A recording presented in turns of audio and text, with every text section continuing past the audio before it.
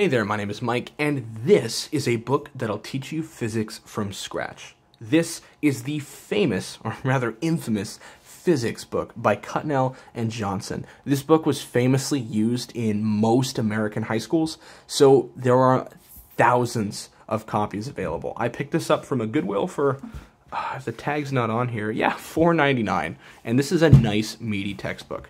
Now, here's what's really cool about a book like this. This book Physics by Cutnell and Johnson is not made to be like a dedicated extreme physics book. And that means there's no calculus involved. In fact, a lot of people use this book for their college physics course, which is a course that's basically physics without the calculus. It's physics for people that maybe are going to go into biology or pre-med and should have some idea of what it is, but it isn't a super important thing to have.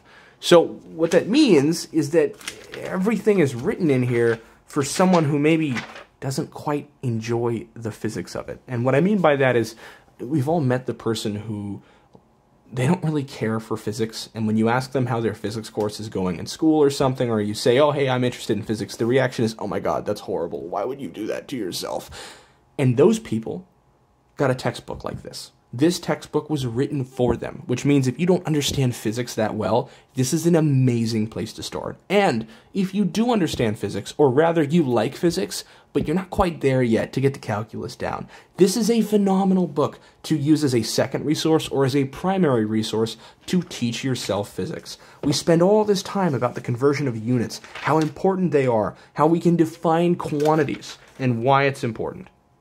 Then we can talk about some vectors in this book, as you can see here. We give some examples of acceleration. Um, we move on to what's this kinematics in two dimensions. And uh, i don't think they get into three dimensions here which is fine. So this is stuff like projectile motion. This is actually very very basic rocketry that you could do. You could model a falling projectile which would be a rocket once its booster has finished and the rocket is no longer firing. So you can do some pretty cool physics just with this stuff. And i think that's really really neat.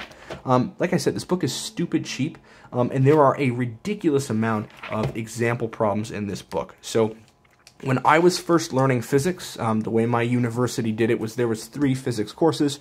There was a mechanics course, there was a rotations, oscillations, and waves course, and then there was a electricity and magnetism course. This physics textbook continued to carry me through the first two out of those three courses. Those were full physics with calculus courses, physics for physics majors. This book was still helpful, so I guarantee it'll be helpful for you. And the cool part is, it's got this really neat glossary in the back. Most books do, but this one is really detailed, and there's enough content in here that it's really easy to just find one thing you're interested. Let's say I want to learn about something cool like the grand unification theory, grand unified theory, unified field theory. That's 995. Let's go there. he's way back here. Check that out. 995 and we can very briefly, it looks like, on the second to last page, learn a little bit about the standard model. So the book doesn't have a lot of modern physics. When, when you see a, a title like this that just says physics, let me tell you what you're in for. You are in for classical physics, which means everything more or less pre-Einstein. So you're going to talk about mechanics, things like Newton's laws, which are fundamental to everything. I am a third year mechanical engineer, and Newton's laws come up constantly. So they're good to know.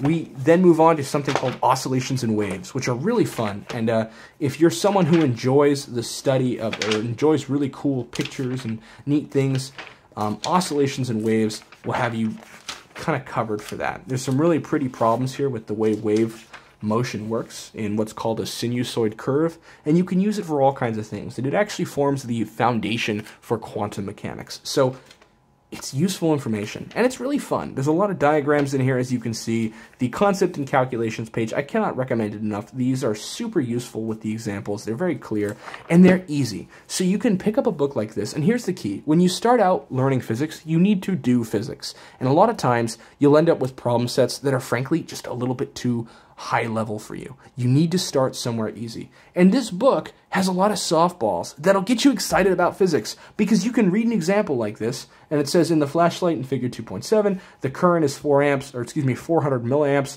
the voltage is 3 volts, find the power delivered to the bulb. And you can do that really quickly. Okay, that'd be, uh, what, 1.2 watts. And there he is. So there's softball questions that are useful to know. And that's the cool part. You can do this now, get a, uh, a solidification, you know, this feeling of confidence in physics. And when you are confident that you are competent, you can move on to more advanced physics textbooks, but you'll have this background to fall back on.